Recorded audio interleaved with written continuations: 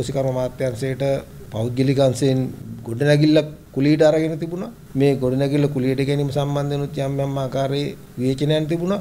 ඒ ගොඩනැගිල්ල කුලියට ගන්න අවස්ථාවේදී රුපියල් කෝටි 66ක තැන්පත් මුදලක් තබලා තියෙනවා. සාමාන්‍යයෙන් තැන්පත් මුදලක් කාණ්ඩේ මුදල් වලින් තියෙනවා නම් ඒකට බැංකුවකින් බැඳුම් කරයක් ලබා ගන්නවා. එහෙනම් බැඳුම් කරයක් ලබාගෙනත් නැහැ. දැනට මේ බිල්ඩින් එක බාර දීලා අසර ගාණක් ගත වෙනවා. ඒ කෝටි 66ක තැන්පත් මුදලවත් ආපසු ලබා දීලත් නැහැ. ලබා ගැනීමට කටයුතු කරලත් නැහැ. මේ සම්බන්ධයෙන් මම ගරු නීතිපතිතුමා දැනුවත් කරලා දැනට කටයුතු කරමින් පවතිනවා. නීතිමය වශයෙන් මොකද්ද කරන්න පුළුවන් කියන කාරණේ සම්බන්ධයෙන් සොයා බැලීම.